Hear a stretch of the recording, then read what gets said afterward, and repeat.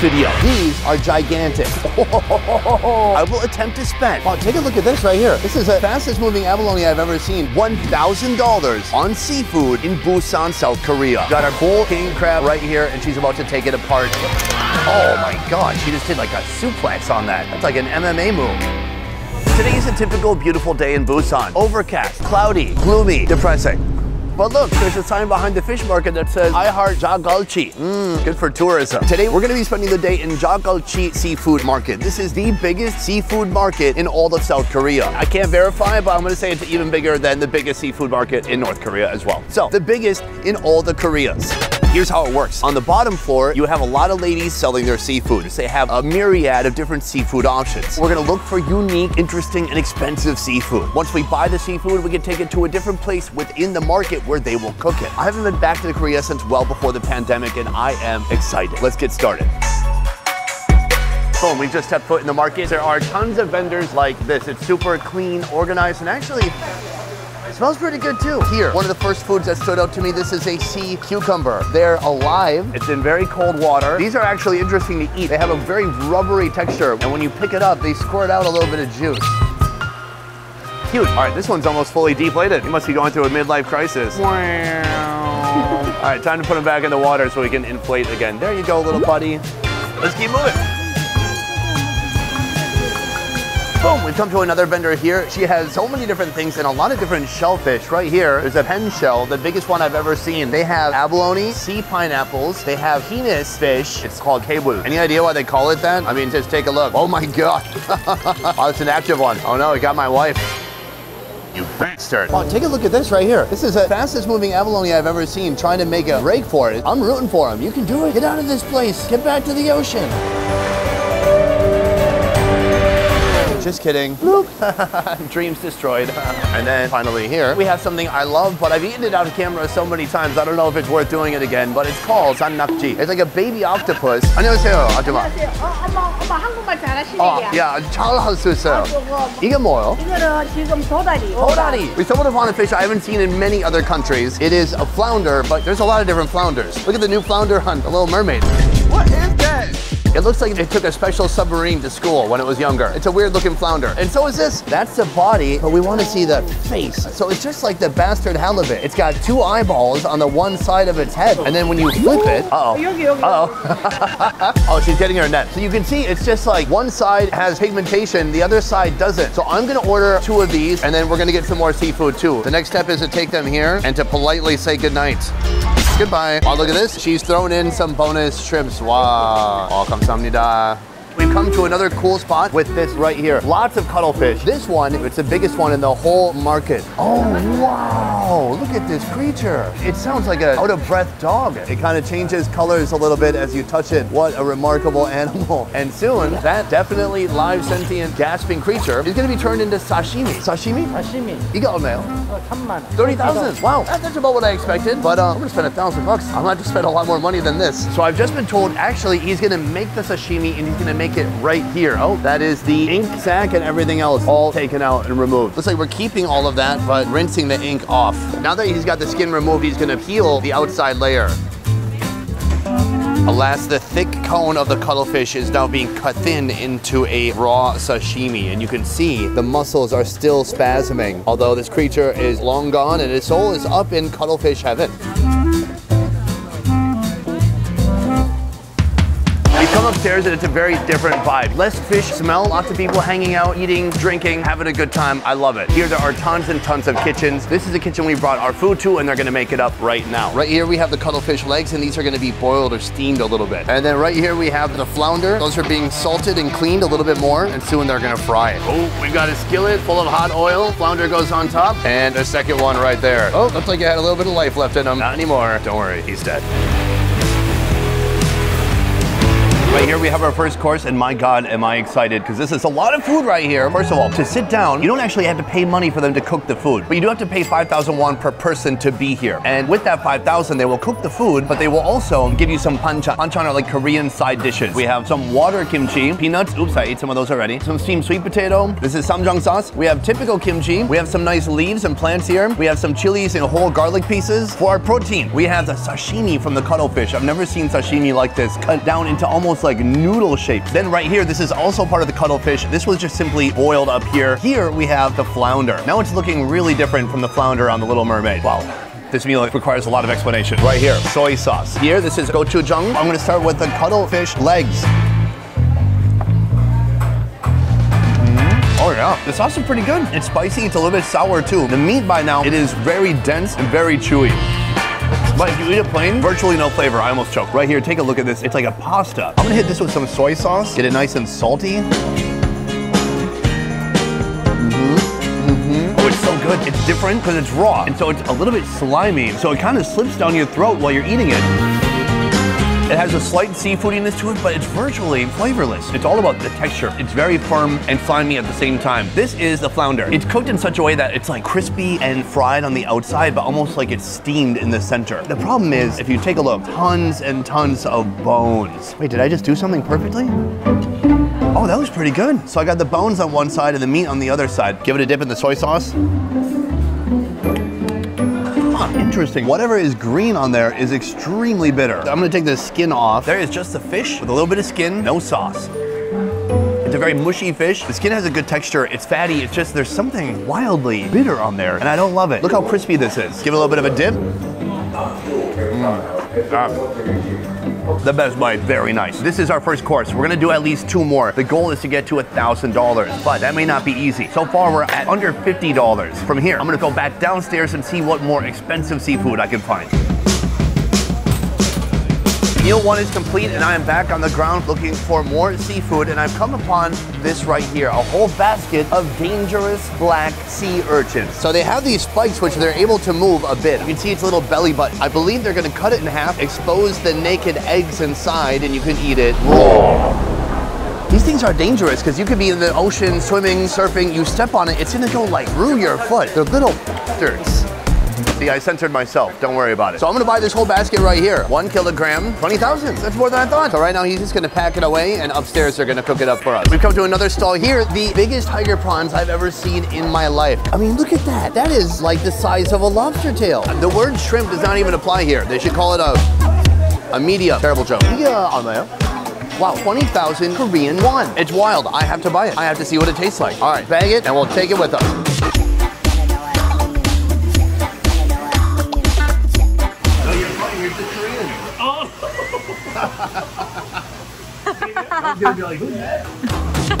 For round two, right here, we are now gonna collect the biggest flatfish we can find. Wow, that one has some acne. This is a very unique fish. You can see the two eyes on the one side. It's always just looking up at people's butts and fins. Because of its unique eye configuration, they're known as the bastard halibut. What a cool name. All right, putting it in the basket. Guys, I'm putting my hand on the fish, and I have a big hand. Yeah, go right there, my hand. Look how big that is. You can see the weight right here, four point, almost three kilograms. Multiply that by 2.2, and that's our fish. So I just found out the price of this fish is 147,000, a lot more than I expected, but that is a lot of fish. Right here, this is an old Japanese style. He's gonna shove the steel rod into the spine. Now the fish is completely dead, but it's gonna create a reaction from the fish. And I'm told this is gonna make the meat even better, softer, all the good things. Wow, look at the skill and precision. Someone who has done this a thousand times before. That is a massive fillet right there. So next time we see this guy, it's gonna be cut into little bitty pieces and draped out over a plate or maybe multiple plates. We're gonna need a bigger plate. That's a big fish. Boom, we're back. We're in a brand new kitchen right now. We're about to cook up this shrimp. Let's go. So today our shrimp is gonna get a nice gentle steaming right here in this pot. Next time we see him, he'll be looking nice and pink. Right here we have all of our sea urchins. One by one, they slice them in half, almost breaking them, revealing these big, beautiful eggs inside. After cutting it open, they give it just a little bit of a rinse, and then that is gonna go on our platter, and we're gonna try it out soon.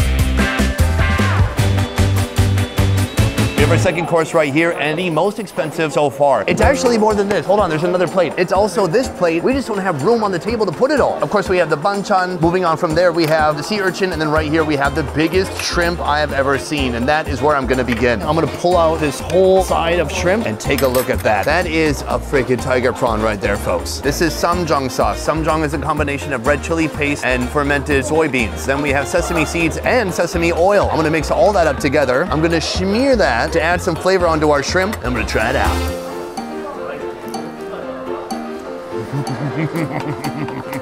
Oh yeah. A very nice sauce combination. It's super salty. It's got a little bit of kick. The sesame oil makes it smoky and deep flavored. White bite.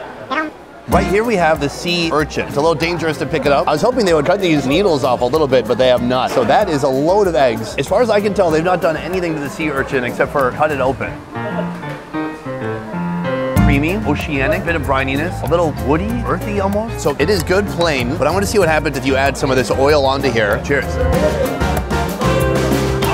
Wow, new level. It's nutty, it's smoky, it's got a great seafood brininess to it. It seems like an ideal seafood for drinking if you have beer, if you have soju. Our final food is the sashimi. The color of its flesh, it's not purely white, it's not purely red, it's got different shades and tones. Some are more translucent and some are more pale white and opaque. The first bite, I don't want to flavor enhance it at all. I just want to taste the full halibut flavor. Let's go. Super clean flavor. It's got some bounce to that meat. So they've given me some wasabi and some soy sauce. Give it a little bit of a mix. Grab another couple. Give it a little bit of a dip. Soy sauce and wasabi together join hands and they elevate this dish to a new level. It's so good. All right, from here, I am gonna consume literally everything you see here and nothing will go to waste. And then I will get our last and most expensive course yet. Let's go. Right here, we stumbled upon one of the most expensive seafoods you'll find at this market. These are gigantic crabs. This one is, oh, notice the claws are not banded. You gotta be careful, and this guy is very much feisty and alive. Okay, he said just lift it from the back, but just don't be a puss. Boom, here we got it. This is a snow crab. Different from a king crab. You'll see the body doesn't get quite as big. The legs are long, but a little bit thinner, and it is ferocious. It wants to crush me. As big as this is, this is a little guy. We're gonna put him down. This is what I'm really interested in today. This right here is the king crab. A crab so big and so near death, it can't muster the strength to try to pinch me. Now, can you? Wait, are you alive? Hey, what's that now? Yeah, he's okay. He's taking a nap. Price for one kilogram is 75,000 won. Multiply that by three, that is 225,000 won for this whole thing right here. Last time I had something this size in Vietnam, it was almost $400. So I'm looking at this like it's a discount bin purchase. Not bad at all. Let's go upstairs and try them out. Right? Time for your pain to end. Isn't that fantastic? This is its final resting place right here. This is a very cool technology here. She has a kitchen hose so she can fill up pots. I've seen a lot of hose in my life, but never a kitchen hose. Next time we see that crab, it's gonna be looking bright orange and succulent. I cannot wait. We've got the king crab, that's boiling, but I wanna get one more food, something that I've tried before, but never in Korea. First of all, these are the biggest freaking oysters I've ever seen in my life. Do I wanna eat a giant oyster? No. Here, big old blood cockles with the tongue sticking out. And then we have clams here, and then a few different types of snails. Now, if you watched my videos before, you know I've had so many different types of snails, especially in Vietnam, but I've never had Korean sauces mixed with this kind of meat, and I'm excited to see what that would taste like. Those are not cheap. It turns out five bucks per snail, 20 for four. Check it out. We've got our full king crab right here, and she's about to take it apart.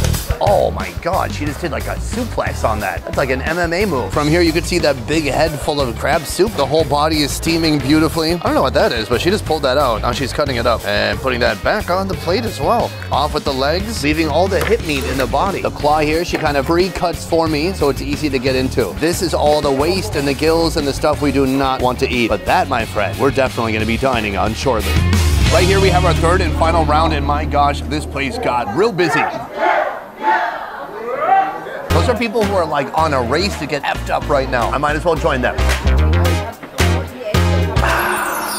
Right here, we have a whole flippin' king crab, and then right here, four snails. As I thought, they just did a simple boiling. This is our red chili paste. Let's go for it. Oh wow, that poop sack was still soft and kind of room temp, but the snail itself was delicious, meaty, slightly rubbery in the best way possible, and then mixed with this sauce, rather than being fresh and refreshing, it's kind of a bold, intense experience. The snail, I give it a pass. There's so many people here and everyone seems panicked about food. Next, and finally, Next and finally, we have the king crab right here. This looks just extraordinary. All right, so we're gonna take out that tendon and open up the biggest piece right here.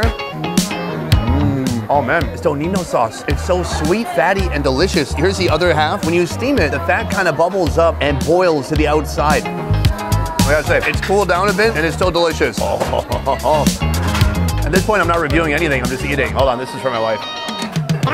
Next right here, we have a giant claw. It's very thick. She's cut it a bit. Take that out. You should be able to scoop this meat out. what I'm told is that some people here actually like to eat this with soy sauce. So I'm gonna give it a little bit of a dip. You know, as an American, we just get used to eating all this type of seafood with butter and that's it. So much better than I ever expected. It has all the saltiness from butter, but none of that overwhelming richness. It's so good. This has been three rounds of seafood. I cannot do any more than this. I'm gonna eat as much of the king crab as I can, and I'm gonna give the rest to charity. Charity? What kind of charity wants half-eaten crab? The goal of this video is to see if I could spend $1,000 on seafood in one day here in Busan, South Korea. So now I need to add up everything we ate for the entire day and see if I got even close to $1,000. Let's do it.